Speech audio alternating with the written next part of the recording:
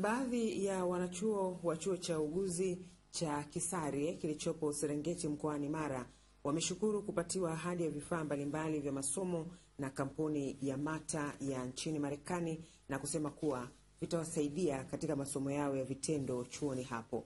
Mwandishi wetu Augustin Mgendi ana taarifa zaidi. Wakiongea baada ya kutolewa kwa ahadi hiyo na wahisani hao kutoka nchini Marekani, baadhi ya wanachuo hao wamesema vifaa hivyo vitakavyoletwa chuoni hapo vitakuwa msaada mkubwa katika masomo yao.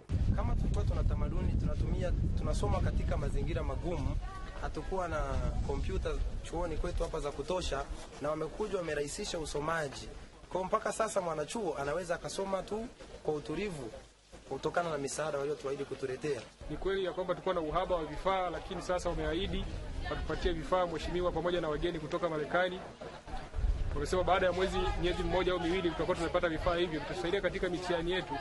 na pia maji ni shida katika chuo hiki, na katika hosteli yetu umeme unakuwa ni shida unapokatika. Kwa hiyo procedure za kuwafanyia wagonjwa kama ni operation zinakuwa hazifanyiki mpaka umeme pale utakapopatikana. Ebi Laurencia Kiarigi ambaye ni mzaliwa katika wilaya ya Serengeti mkoani Mara, ambaye kwa sasa anaishi nchini Marekani na aliyesaidia kupatikana kwa msaada wa vifaa hivyo, amesema uongozi wa chuo hicho na hospitali ya Nyerere DDH unapaswa kuvitunza vifaa hivyo na kutoa huduma ya afya iliyo bora kwa wananchi ili wahisani hao waone umuhimu wa kuleta vifaa vingine. Mwanzoni wazo la kwanza kabisa ilikuwa ni hospitali. Tumefika hospitali, wameona hali ilivyo, wakasema kwani kuna hiyo hospitali ina kitu kingine chochote?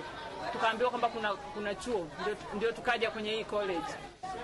Tumefika kwenye hii college, wameona mahitaji tayari, wameshachangia kompyuta kumi, monitor kumi na projekta moja. Wamekubali vile vile wataleta kontena la vifaa vimejaa kwa ajili ya chuo cha nursing cha Kisare.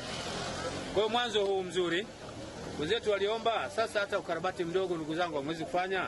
Kwa hiyo tukakubaliana kwamba tufanye ukarabati mzuri ambao tumefanya kwenye wodi ya watoto na wodi ya kina mama, hususan wodi ya wazazi.